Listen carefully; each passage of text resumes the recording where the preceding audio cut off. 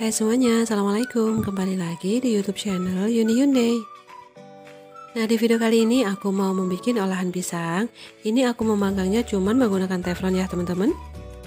Jadi sekarang kalau misalkan kalian punya pisang berlebih di rumah Atau pisangnya itu udah terlalu matang gitu Bisa dibikin cemilan seperti ini ya teman-teman Nah bagi kalian yang ingin tahu gimana cara aku bikinnya dan apa aja bahannya, tonton ya videonya sampai selesai. Tapi sebelumnya jangan lupa di subscribe dulu dan aktifkan juga tombol loncengnya ya. Terima kasih. Nah untuk bahan-bahannya di sini sudah aku siapkan. Yang pertama ada tiga buah pisang candi. Ini sudah matang banget ya. Beratnya kira-kira setara dengan 150 gram. Lalu ada 100 ml susu cair, ini aku dapatkan dari 100 ml air, aku tambahkan 2 sendok makan susu bubuk ya teman-teman. Berikutnya ada 250 gram tepung terigu protein sedang, 45 gram gula pasir setara dengan 3 sendok makan, 1 sendok teh ragi instan, setengah sendok teh garam, lalu ada 50 gram margarin, ini kira-kira setara dengan 3 sendok makanan gitu. Sekarang langsung saja kita siapkan wadah, lalu masukkan tepung terigu, masukkan juga gula pasirnya, Lalu tambahkan garam dan juga e, ragi instan. Di sini aku menggunakan merek e, Fermipan ya. Ini kita aduk-aduk rata dulu. Nah, berikutnya kita akan masukkan susu cairnya. Ini kita masukkan separuhnya dulu ya, teman-teman.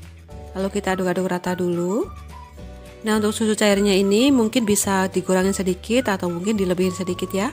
Karena biasanya setiap merek tepung itu memiliki tingkat kelembapan yang berbeda-beda. Nah, ini aku masukkan semuanya ya teman-teman untuk susu cairnya.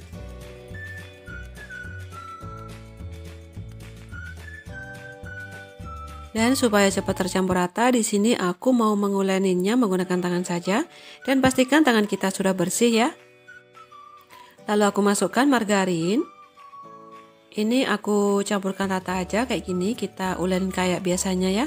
Tapi di sini aku menguleninnya tidak sampai yang kalis banget gitu asalkan tercampur rata saja. Dan supaya margarinnya itu cepat meresap ke dalam adonan, bisa kita gunakan dua tangan kayak gini ya.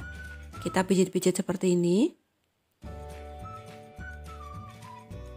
Nah ini sudah tercampur rata. Ini nggak sampai yang kalis banget gitu ya teman-teman, tapi mungkin cukup kalis saja. Lalu kita bulatkan. Selanjutnya ini aku tutup menggunakan plastik wrap dan aku istirahatkan kira-kira satu jaman gitu sampai dia mengembang dua kali lipat ya. Atau biasanya tergantung dari suhu udara, semakin dia udaranya panas, semakin dia cepat mengembang gitu teman-teman. Nah sembari menunggu adonannya mengembang, sekarang kita akan mengolah ini si pisang ya. Aku haluskan saja menggunakan punggung garpu seperti ini. Kita tekan-tekan. Nah ini aku menghaluskannya tidak yang sampai lumer banget gitu. Kayak gini aja udah cukup ya teman-teman. Sekarang kita uh, siapkan teflon. Aku masukkan pisang yang sudah kita haluskan tadi. Dan supaya nanti lebih enak, aku tambahkan uh, satu sendok makan margarin. Kita aduk-aduk aja seperti ini. Dan ini kita masak sampai nanti dia agak kering gitu. Tidak begitu berair gitu loh teman-teman. Nah kalau kalian suka manis, ini boleh ditambahkan gula pasir. Aku di sini tambahkan kira-kira satu sendok makan ya atau 2 sendok makan gitu, terserah kalian.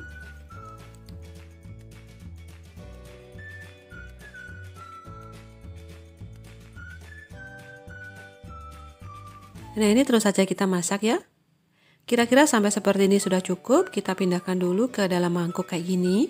Dan satu jam kemudian kita lihat adonan kita, dia sudah mengembang dua kali lipat ya. Nah kayak gini. Kita kempiskan dulu, lalu ini akan aku bagi menjadi beberapa bagian gitu. Kita pindahkan dulu ke alas kerja kayak gini ya teman-teman. Nah adonannya ini berasanya itu lebih lembut ya, dan dia sudah tidak lengket. Oke, sekarang aku mau membaginya menjadi beberapa bagian ya teman-teman. Untuk ukurannya ini disesuaikan selera kalian saja, mau besar mau kecil boleh ya.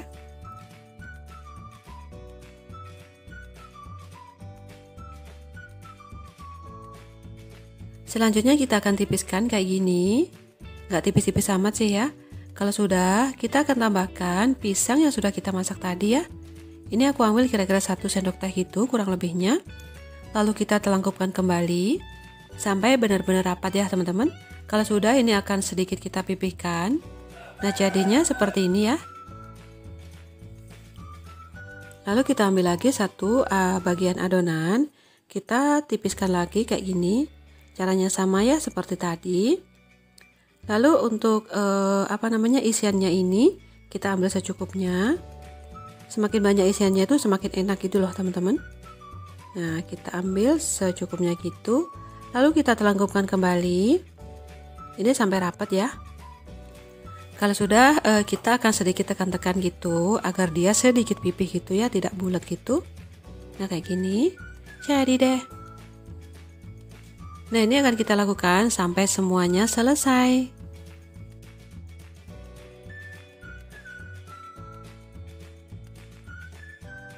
Dan kalau sudah selesai semuanya kita bulatin seperti ini, lalu kita diamkan lagi kira-kira setengah jam. Dan hasilnya seperti ini ya, dia lebih lembut, lebih mengembang lagi. Nah kalau sudah, sekarang kita akan panaskan teflonnya. Di sini aku alasin menggunakan seng atau loyang bekas ya, supaya nanti si apinya itu tidak langsung mengenai ke dasar teflon. Nah ini sekarang kita uh, masukkan ke dalam teflonnya ya teman-teman. Kita masukkan secukupnya. Kita beri jarak ya, takutnya nanti dia mengembang jadinya lengket satu sama lain gitu.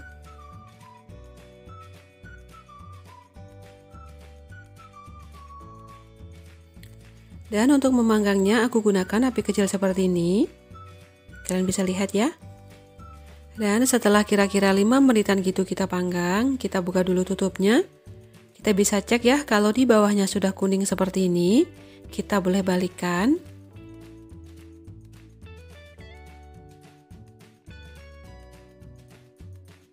Lalu setelah kita balikan semuanya seperti ini, kita tutup kembali dan kita masak sampai matang ya. Kita lihat kalau di kedua belah sisinya itu sudah warnanya kuning keemasan seperti ini, berarti dia sudah matang ya. Ini sudah boleh kita angkat.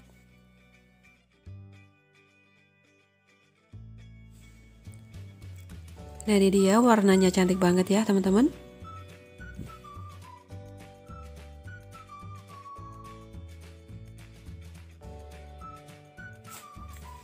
Dan ini dia olahan dari pisang kita sudah jadi ya teman-teman. Ini bisa jadi teman ngeteh atau ngopi kita. Nah satu resep ini jadi sekitaran 20 biji ya. Tergantung kalian e, membulat-membulatkannya itu kecil atau besar. Langsung saja kita cipin ya Bismillah. Nah tampakkan di dalamnya tuh kayak gini. Ini pisangnya tuh full ya teman-teman. Dan hmm, rasanya tuh enak banget. Manis, wangi, gurih, pokoknya mantul lah ya. Jadi kalau misalkan kalian punya pisang di rumah berlebih itu bisa dibikin uh, seperti ini ya, dijamin enak banget. Oke, selamat mencoba ya untuk kalian semuanya. Semoga berhasil dan semoga resep ini bermanfaat. Jangan lupa kalau kalian suka video ini, di like, di komen juga subscribe, dan aktifkan juga tombol loncengnya ya, uh, supaya kalian tidak ketinggalan video aku berikutnya. Terima kasih. Wassalamualaikum warahmatullahi wabarakatuh.